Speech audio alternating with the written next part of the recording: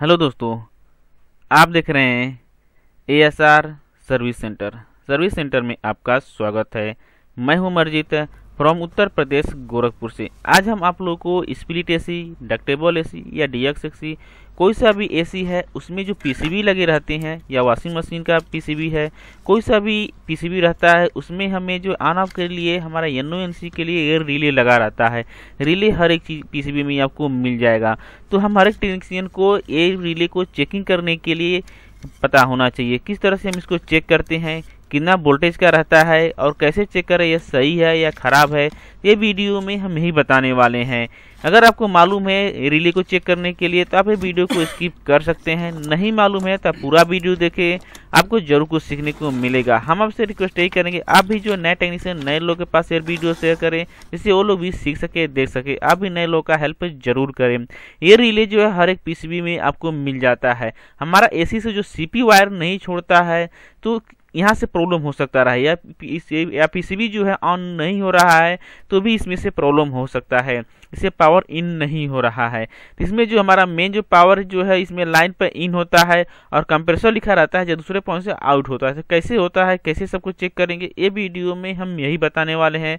आप कुछ सीखना चाहते हैं तो पूरा वीडियो देखें, आपको ज़रूर कुछ सीखने को मिलेगा। सब्सक्राइब करें हमारे इस चैनल को और इस बेल घंटी को भी साथ में दबा दे, क्लिक कर दे, जिससे हम कोई सा भी दूसरा वीडियो बनाए, आपको सबसे पहले मिले और इसका लाभ उठा सके। यहाँ पर आप देख सकते रहे ये हमारा पीसीबी है। पीसीबी का हमने रिले निकाल लिया है। हमें रिले चेक करने के लिए प्रॉपर सही तरह से पीसीबी से अगर निकाल लेंगे तो हमें आसानी रहेगा चेक करने के लिए।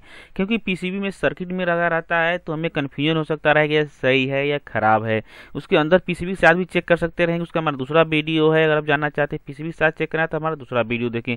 इसमें नॉर्मल इस तरह से हम निकाल कर चेक करने वाले हैं, बताने वाले हैं।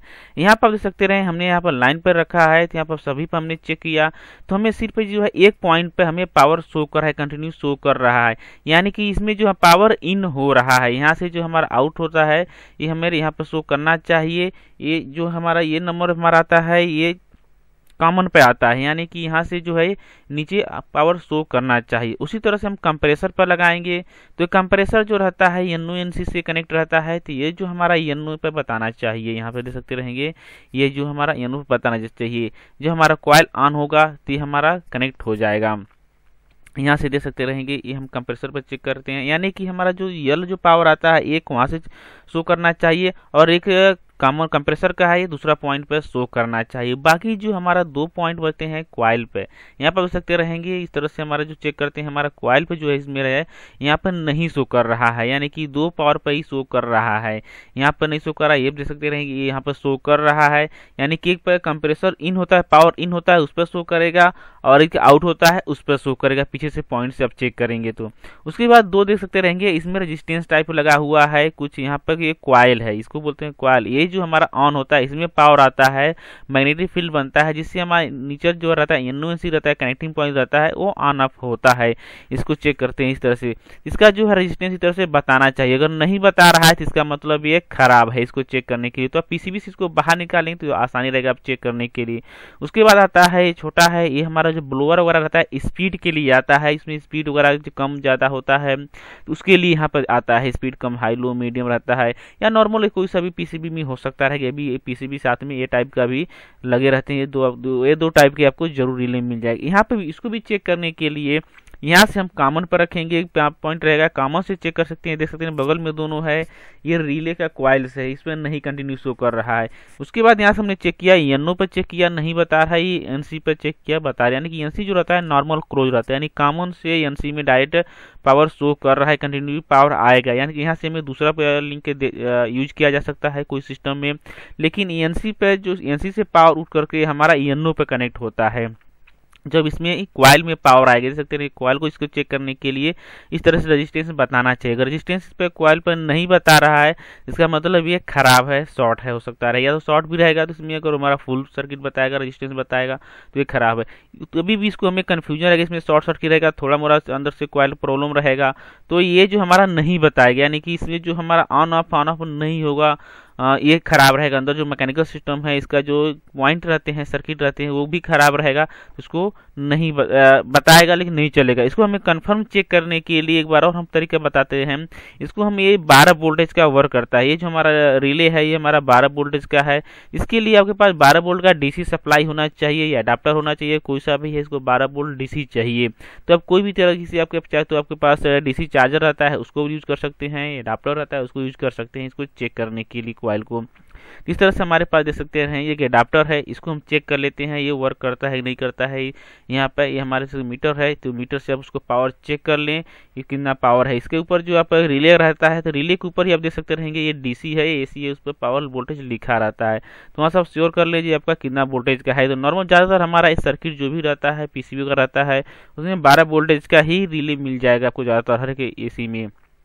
यहाँ देख सकते हैं, हमारा जो वोल्टेज शो कर रहा है तेरह वोल्टेज है, तेरह पॉइंट समथिंग कुछ है तो एक दो वोल्टेज जो है हमारा प्लस माइनस हो सकता है। इसमें वोल्टेज के ऊपर डिपेंड रहता है पावर के ऊपर। तो यहाँ से इसको सही है। तो यहाँ से हम इसको चेक करने के लिए रिले है। रिले के हम इसको जो पीछे साइड में जाएँगे तो यहाँ पर हमारा जो क्वाइल लग रहता है, देख सकते रहेंगे, ये जो हमारा क्वाइल है, एक नंबर दो नंबर पर है तो ये क्वाइल पर हमें इस तरह से पावर टच करना है। यहाँ पर टच करेंगे तो ये हमारा एन का जो लिंक रहता है, वो टिक टाक टिक टाक करके आवाज़ आएगा। यानी कि जो एन है, वो clause on off on off होगा।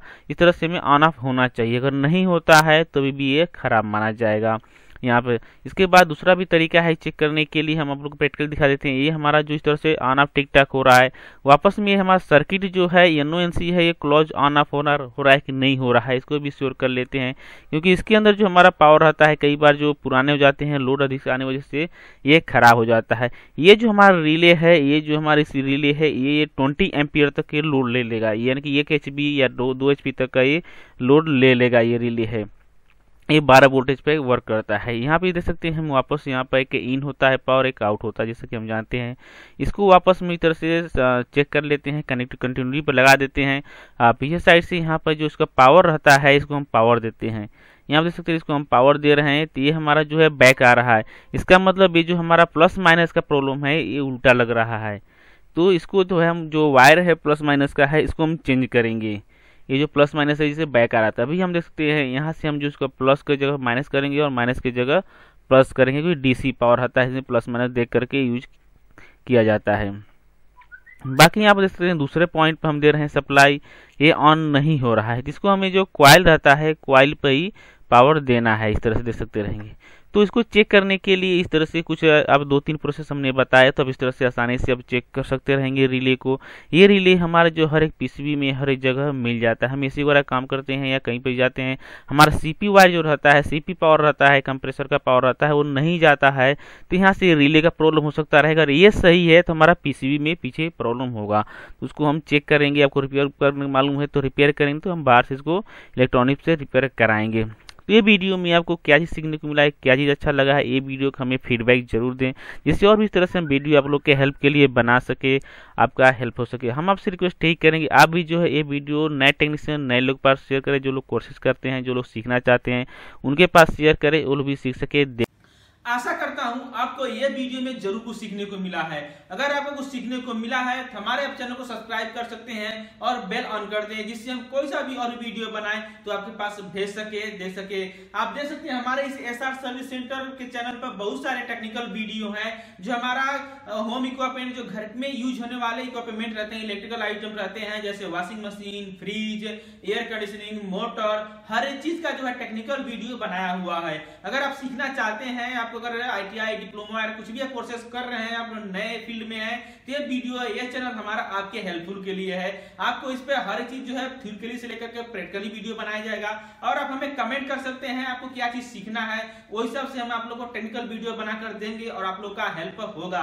और हम आप लोग, आप लोगों से रिक्वेस्ट ये भी करेंगे, आप जो है नए टेक्नीशियन नए लोग का आप भी हेल्प ज़रूर करें। ये वीडियो को आप जो है अधिक से अधिक लोग तक शेयर करें, जिससे वो लोग भी सीख सके, देख सके। आशा करता हूँ आप आपको ये वीडियो में ज़रूर सीखने को मिला है। आज आपका दिन शुभ हो। Thank you for watching